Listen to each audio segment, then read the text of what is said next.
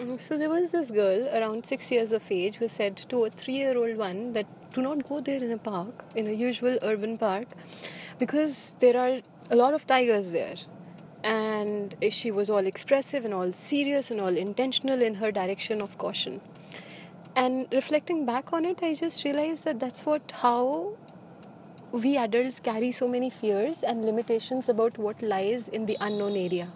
And we have been told don't go there because there are predators or attackers and all possible tragedies waiting to happen.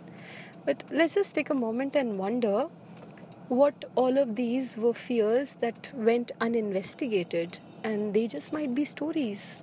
Stories that are fear filled, but in reality, all fiction.